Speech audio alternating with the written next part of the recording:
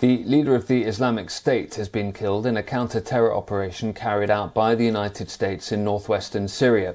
Abu Ibrahim al Hashemi al Quraishi, the leader of ISIS there, set off a blast, killing himself and his family as special forces rounded on his hideout after a gunfight. US President Joe Biden is hailing it as a major victory.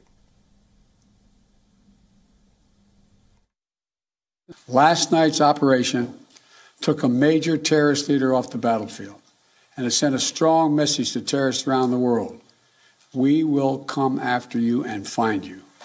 Once again, today, we continue our unceasing effort to keep the American people safe and to strengthen the security of our allies and partners around the world.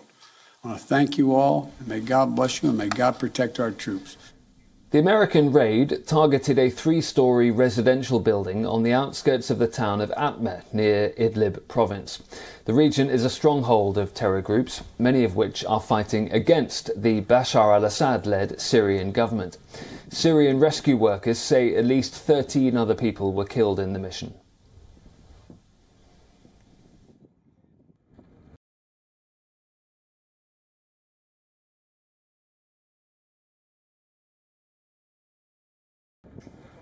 We note with concern reports of civilian casualties. Daesh has committed heinous crimes and brought tragedy and death to thousands of men, women, and children, and we want to take this moment to, rem- to remember the victims and families of terrorism uh, uh, and families of victims of terrorism everywhere in the world. President Joe Biden said the mission was carried out in a manner which tried to minimize civilian casualties and said the team is now compiling a report on the operation. The Pentagon did accept that three people were killed in the blast. So we know that uh, uh, that when Abdullah uh, detonated an explosive device, which obviously killed him, uh, uh, we know that there were three people on that third floor with him that were also killed. his wife and two children. Um, and so that's what I'm talking about when I talk about the the, the three.